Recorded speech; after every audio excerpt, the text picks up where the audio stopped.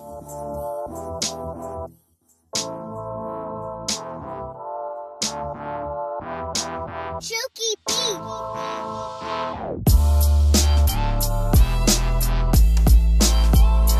going on, everybody? This is uh, G from Cloud Cups. Uh, we're in Atlanta today. What we got going on is uh, Infused Dinner Party. It's our 16th dinner party in 11 months.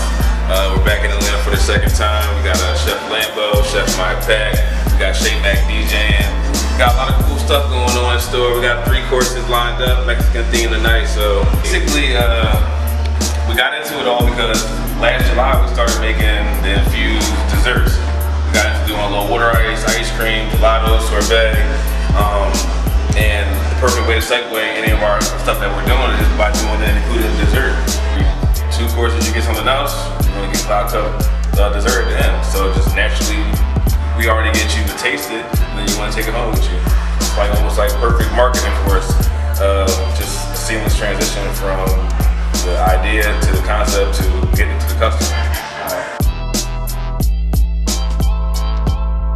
Hashtag on the cloud, Cloud Cups DC on IG. Get ready,